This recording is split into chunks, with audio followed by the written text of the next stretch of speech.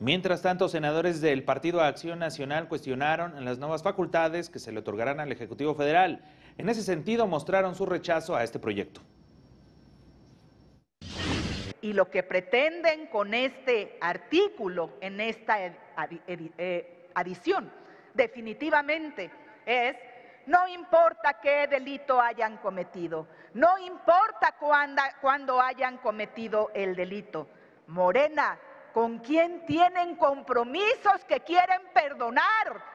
¿A quién pretenden liberar con esta iniciativa?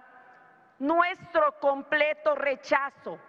Acciones como estas van a empeorar la grave situación de inseguridad y de impunidad que de por sí ya vive nuestro país.